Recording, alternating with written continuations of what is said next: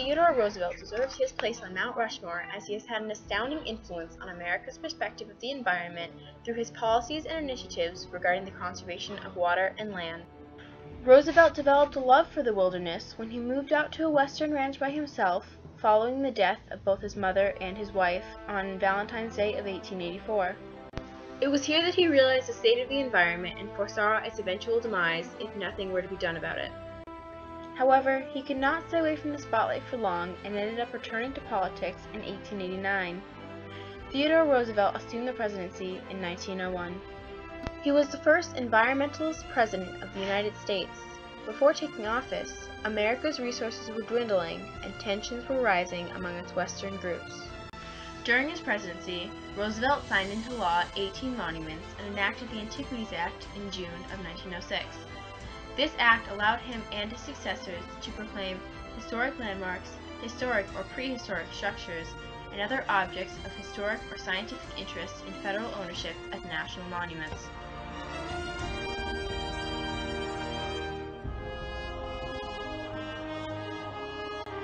During the late 1800s, many people who had migrated to the western states began to mine and farm. Their mining machinery, such as the long tom, used massive amounts of water, water which had been previously used only by the Mexican Americans.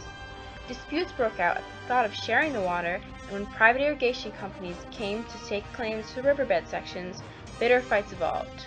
Tensions arose as the water shortage worsened.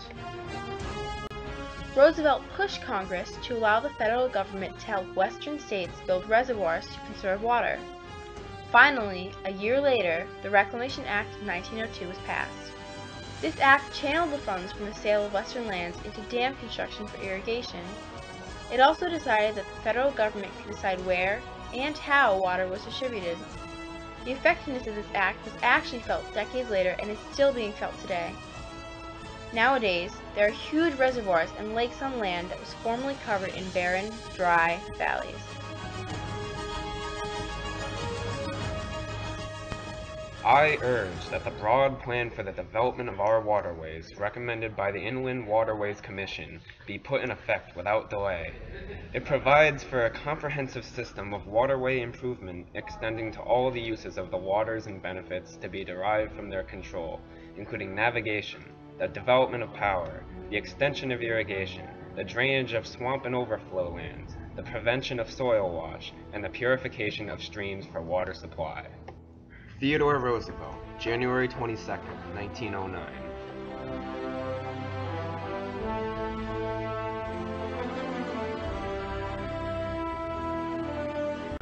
Theodore Roosevelt has always been passionate about the natural resources that the earth has to offer. He was especially happy with the government's establishment of Yellowstone National Park in 1872. He admired John Muir of California, who helped Congress create Yosemite National Park in 1890. Muir had said, as age comes on, one source of enjoyment after another is closed, but nature sources never fail, in his book, Our National Parks. Roosevelt took this idea to heart with his conservation efforts. Before Roosevelt became president, people could harvest as much lumber as they desired, disregarding the maturity of the lumber and harvesting overwhelming amounts of it. The mindset of the people in this era was that the wood would never run out. By the mid-1800s, though, nature lovers started to realize that the hunters, timber cutters, and miners not only threatened the environment, but entire ecosystem. As a young man in the Dakota Territory, Roosevelt saw firsthand how human activities could harm the environment.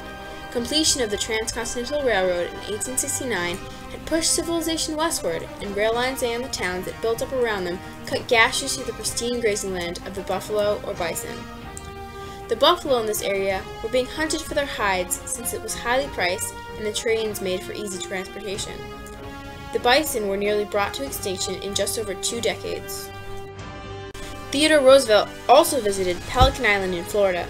This island was inhabited with an abundance of shorebirds. At that time, the demand for plumes for women's hats was very high, which led to the near extinction of these birds. It was not until the 1900s that any action was taken. Aware of the nearing extinction of the shorebirds, in 1903, Roosevelt created the Pelican Island Bird Reservation. This was the first of many refuges that he established. In 1905, Roosevelt created the Bureau of Forestry and assigned Gifford Pinchot as chief forester. Peacock believed that timberlands should be managed scientifically, with selected trees harvested and others left to grow, so that rain would not cause excessive soil erosion, runoff, flooding, or water pollution. However, the timbermen protested this idea strongly, as it was harsh on their spending budget. Congress was not able to resist the request for long and attached a rider to the Agriculture Appropriations Bill. This rider limited the president's power on setting aside land in the western forest lands for preservation. In response to this intense rider, Roosevelt signed off on an additional 16 million acres of forest land into federal protection before signing the rider. Altogether, he preserved around 200 million acres of forest land and built approximately 51 refuges for the protection of wildlife.